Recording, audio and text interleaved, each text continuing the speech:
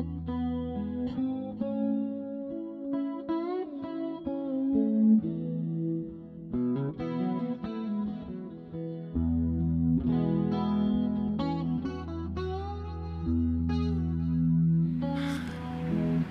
there, gardeners.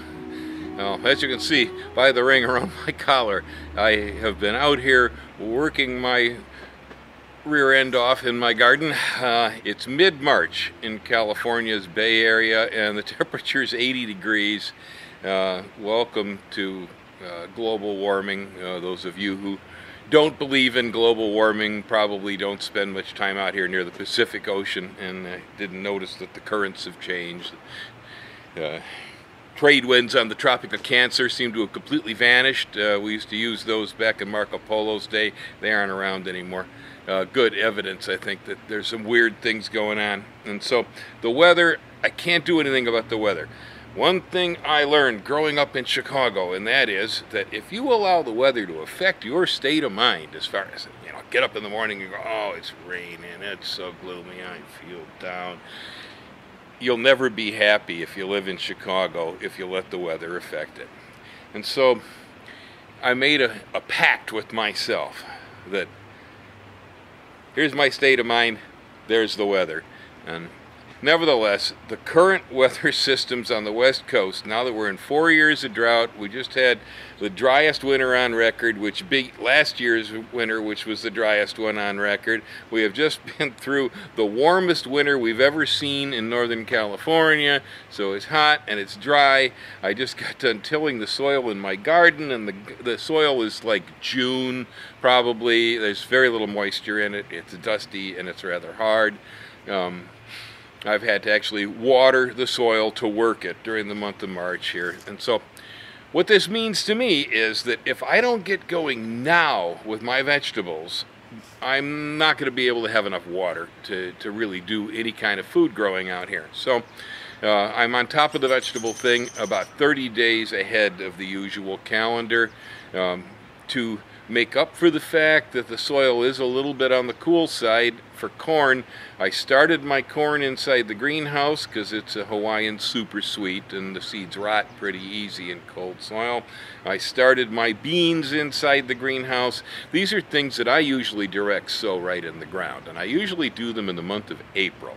But this year there won't be any water left in April to do this so I'm 30 days ahead of schedule sprouted my seeds inside. Just got done moving them out here. You can see all the little corn guys. Uh, nice tiny little corn plants. Right over there, we got some rows of snap beans. Uh, it's going to be a pole bean. And so, a couple of things I've done here. One is, right here, you'll see that I have a big raised ridge of soil all the way around my garden. Over on the other side over there, I have diked the garden. So this garden is now a depression. It's like a like a waffle. Um, so that when I run water in here, it's not going to leave the edges of the garden. Everything has to stay on the inside. So that's one trick.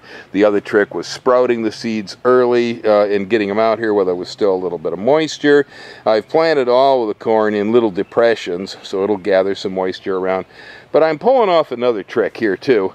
And one of the things I'm going to do is that I've taken all these black plastic planters over here. I'm going to fill them up with potting soil. I'm going to put a polymer starch uh, on the inside that'll hold 25 times more water than the soil will. Um, and I'm going to put my vegetable transplants in there, and then around the bases of the pots where the water will leak out, I'm going to ahead and put another crop. I'll put some bush beans in, in the soil underneath the pots, and a little bit of lettuce, I believe uh, to catch the water that comes out. Alrighty, so here I've got uh, a 20 gallon uh, uh, poly tree tub. Uh, it's a recycle. It's already had a Japanese maple growing in it for a customer. In here I placed the potting soil.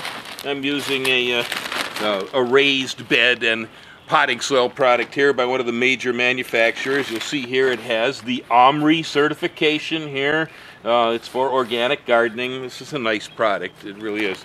Uh, good texture.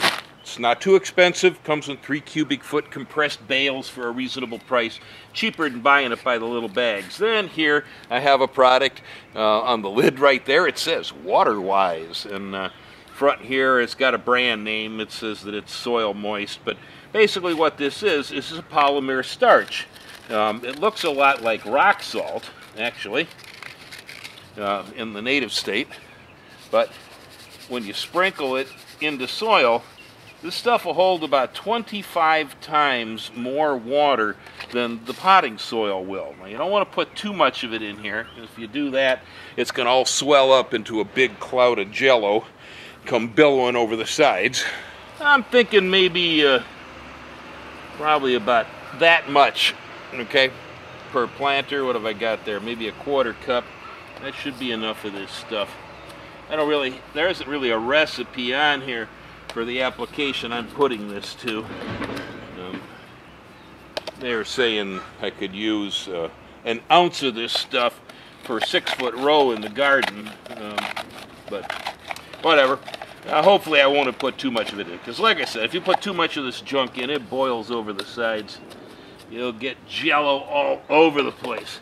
But, there we go. And then once we get it in there, spread it out a little evenly there.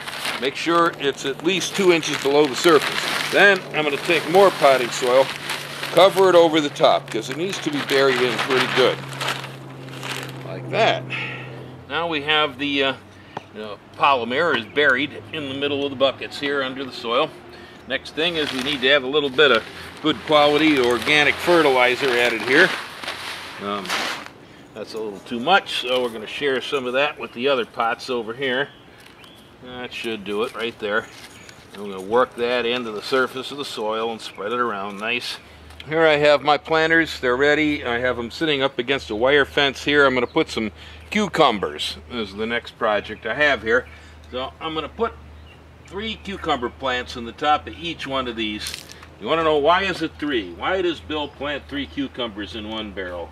The answer is, the old gardener once told me, when you're gardening, you put in one for the weather, one for the bugs, one for the gardener. And so things are done in threes. It's pretty good rationale. Usually you manage to get something for yourself if you do it that way.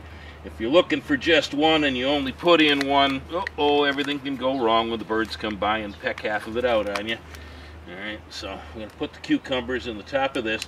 Now, one of the reasons I'm not planting in the soil below is because we're now in the fourth year of drought here in California. My earth has become so dry that if I attempt to go ahead and put crops in the ground, what happens to me is that by midsummer, the lack of groundwater just makes it almost impossible to keep moisture on the crops. And so I've been growing winter crops out here in the ground. We've had peas, we've got onions out there, there's cabbages and so on. Uh, so I've got all kinds of stuff that I've been growing. So I have been using the soil this year, but uh, that's during the winter. There was very little rain even this winter, and so it was almost kind of tense to get artichokes and cabbages growing here during the dry, the wet, what should be the wet months of our year.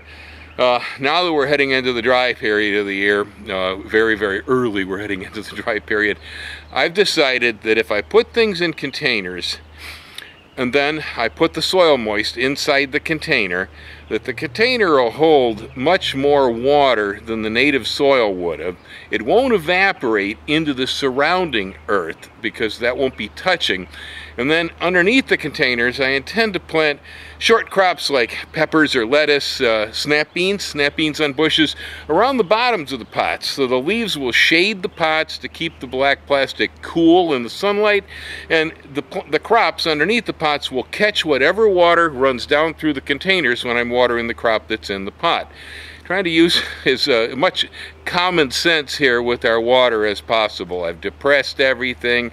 I'm enhancing the ability to hold moisture in soil. I'm making sure that I have more than one crop catching that water and so on. So now I'm going to move over here to the other planters and start to put some stuff in the ground underneath. Now I'm over here on the north side of my containers or the shadow side of my pots and uh, I've got some Tom Thumb lettuce here and so on the darker side of the container, I'm going to grow lettuce plants.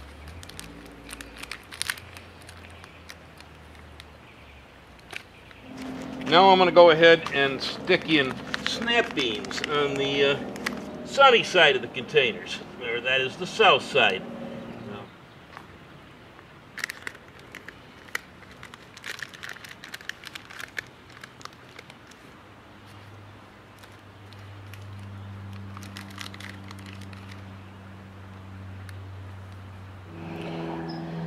Well, got my snap beans. Now they're at the base of the containers. Um, I don't have anything inside most of the pots yet because they're waiting for the tomato plants. Over here in the shadow side, we've got the Tom Thumb lettuce. That's right next to a row of pole beans there, some Fortex pole beans. And again, as you can see here, everything is diked in. I have uh, big piles of soil all the way around this place hold in the moisture. Over there by the fence are my cucumber planters. Um, we'll get some parsley, I think, is going at the base of those. We'll catch the water coming out of them. Well, so there you have it. Uh, my attempt at trying to uh, uh, keep up with drought here, I refuse to give up. I will not give up on my vegetable garden. Uh, it's going to be a tough year.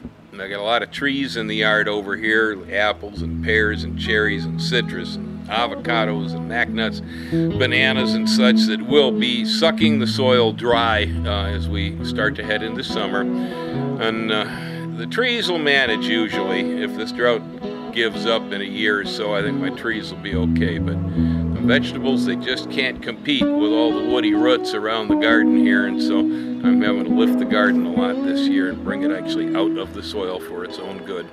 Um, we'll see what happens. Uh, check in later. Happy gardening. I hope all you listening don't have any problems with water this summer.